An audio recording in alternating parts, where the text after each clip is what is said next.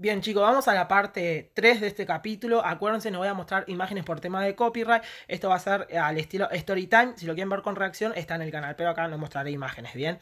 Ahora, bien, vamos a contar lo que va a pasar en la parte 3. Lo que sucede en la parte 3, como la tipa queda huérfana, la tía, que tiene una hija también, y hay otra tipa que vive con ella, que creo que es la, la madre de, de la prima, bueno, en fin.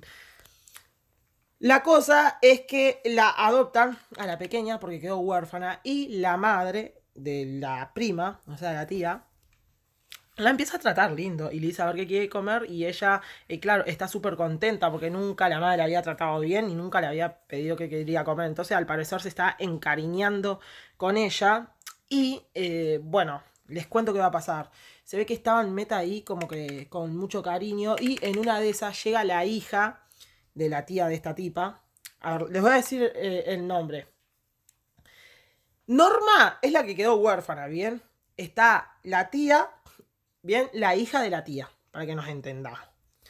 La hija de la tía en ese momento, que le dice a ella que quiere cocinar y esto y lo otro que quiere comer, llega la, la, hija y le dice a la madre que le está yendo mal con los estudios, a ver si no la puede ayudar. Y bueno, y obviamente la madre le dice que sí, que la puede ayudar y esto. Y claro, la Norma se pone celosa de todo esto y empieza a mirar a la tipa con una cara rara. Bien, entonces, claro, ahí pasa eso. Después, más adelante, eh, bueno, ella empieza a vivir en la casa y, eh, bueno, empiezan a notarla en la escuela. Ella va a ir a la escuela y va a empezar a ir a la misma escuela de la, donde va la prima, ¿no? Entonces, claro, la prima cuando fue a la escuela, al parecer tiene un novio, la madre no sabe, nadie sabe. Y Norma está ahí. La prima le dice a ella, che, hoy no voy a entrar a clase, me voy a dar de pinta eh, con mi novio. Y no le he dicho nada a mi madre porque no sé cómo se lo va a tomar, pero bueno, voy a faltar una única vez. Y claro, ellas son primas, se, cuenta se cuentan sus cosas. Y claro, pensó ella que la Norma no iba a decir nada, pero bueno, cuando ella se va de pinta, después de clase viene la norma y le va con el chisme a su tía, o sea, a la madre de su prima, y le dice que en realidad no se fue a clase y que eh, tiene un novio que no le ha dicho nada. O sea, no entiendo por qué hace esto, cuando entre primas se tienen que cubrir, pero bueno, claro, se entiende igual si lo hiciera por el bien de ella, porque se perjudica al fin y al cabo la prima, pero ella no lo está haciendo con esa intención.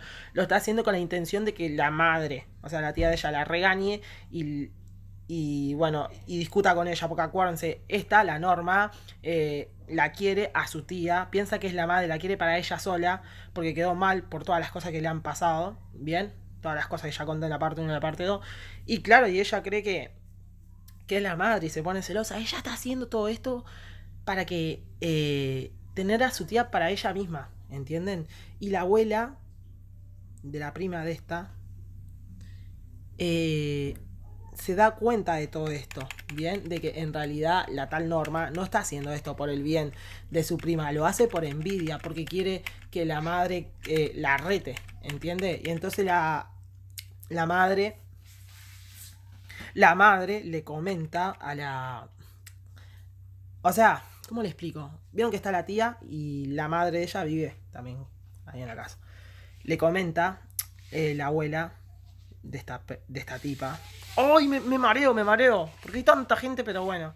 Eh, la abuela de la tía de esta tipa le dice, che, creo que en realidad sobreexageraste, porque claro, se ve que la puso en penitencia y le puso un castigo a la hija por haberle mentido que tenía novio, por faltarle la confianza y por estar faltando clase. Entonces, claro, se ve que le puso un castigo y la abuela de, la prima le dice, che, creo que exageraste. Y ella le dice, no, porque no me puede estar viendo la cara.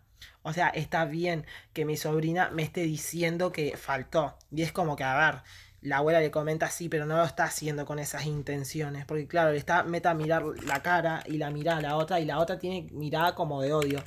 Entonces, bueno, por todo esto que pasó, la madre termina hablando con su hija y eh, bueno, ellas terminan hablando y la madre la termina perdonando. Le saca el castigo y le dice que por favor no vuelva a mentir, que le diga la verdad y que no es necesario que se esté yendo de pinta. O sea, puede estudiar, tener su novio y sin estar haciendo estas clases de cosas. Entonces que cuando la madre habla con la hija y la perdona, está la norma esta.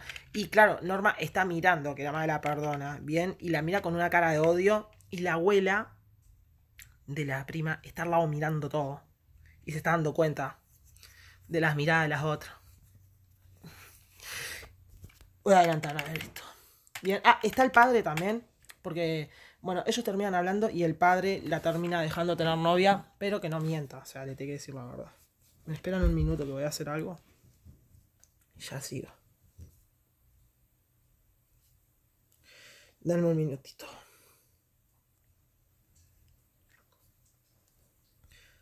Uh, uh, uh,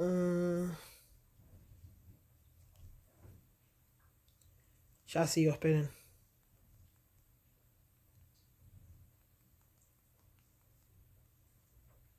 O les cuento, está el padre y bueno, o sea, todos se reconcilian. El padre le dice que sí que puede tener novio, pero eh, tiene que ser sincero. Al otro día están en clase y creo que la tipa... Eh, no, no están en clase. Ay, me esperan un minuto. Toca arreglar un asunto. Ya sigo con el video.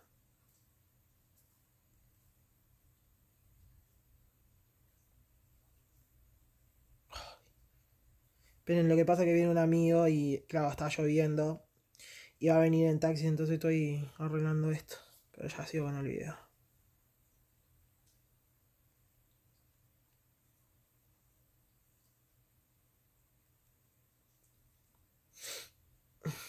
Bien. Bueno, ya está. Bueno, al otro día están en clase. Bien, la Norma está con la prima. Y claro, Norma, acuérdense eh, que es la huérfana. Entonces, claro, la prima tiene novio y está en clase comiendo no, en clase no, en el patio está comiendo. Y cuando está comiendo, la norma le dice, ay, no comas no sé qué, porque si te pones gorda, a tu novio después no le vas a gustar. Y la prima le dice, ¿en serio? No sé qué, ¿crees eso? Y le dice que sí. Entonces le recomienda a la prima tomar un té verde, en supuestamente para bajar de peso. ¿Qué pasó? Sí.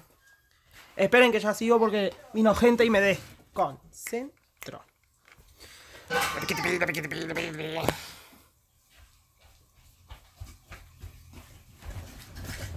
¿Te vas a caer, mijo?